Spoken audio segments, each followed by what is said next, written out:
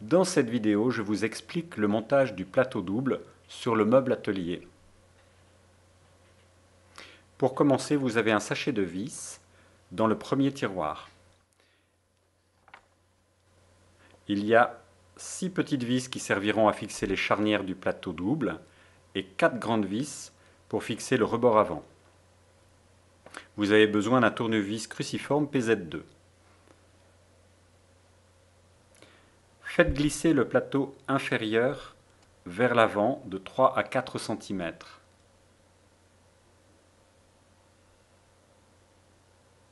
Le deuxième plateau se trouve à l'envers. Il suffit juste de le retourner, puis de fixer les charnières avec les six petites vis.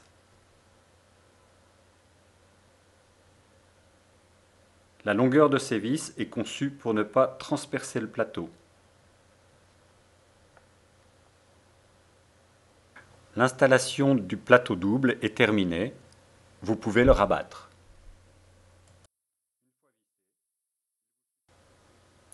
Vous avez deux possibilités pour placer le rebord avant. Soit un débord de 3 cm, soit un débord de 1 cm. Installez la position qui vous convient le mieux en fonction de vos activités à l'aide des quatre grandes vis.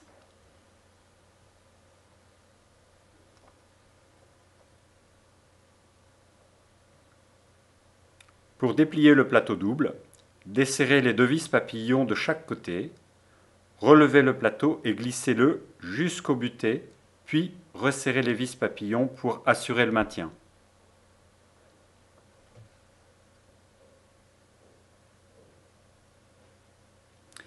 Même déplié, le plateau double peut s'incliner dans les six positions.